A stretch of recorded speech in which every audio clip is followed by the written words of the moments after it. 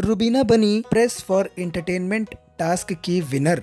जनता ने रुबीना पर लुटाया प्यार। TV reality show Bigg Boss के घर में वुड सिलेक्ट पर दर्शकों के लिए, सदस्यों के लाइव परफॉर्मेंस के लिए एक टास्क का आयोजन किया गया था। और इस टास्क में जनता को ये फैसला करना था कि बिग बॉस के घर में वो कौन सा सदस्य है जो सबसे बड़ा एंटरटेनर है। इस टास्क में पाँच राउंड हुए पहले राउंड में विकास ने इंटरटेन किया सेकेंड राउंड में अर्शी ने इंटरटेन किया थर्ड राउंड में राखी ने फोर्थ राउंड में रुबीना ने और फिफ्थ राउंड में निकी इंटरटेन करती नज़र आई। इन्हीं पाँचों सदस्यों में से जनता को यह तय करना था कि बिग बॉस के घर में सबसे बड़ा इंटरटेनर कौन है। वैसे आपको बता दें कि जिस तरह से राखी ने मनोरंजन किया, उसे देखकर ये कहना गलत नहीं होगा कि राखी इस सीज़न की सबसे बड़ी इंटरटेनर हैं। लेकिन जिस तरह से रुबीना की फ़ैन फॉलोइंग है और वूड सिलेक्ट के लाइव स्ट्रीमिंग ऐप पर जनता की लाइव पोलिंग जिस तरह से कराई गई तो फ़ैन फॉलोइंग देखते हुए ये अंदाज़ा लगाया जा सकता है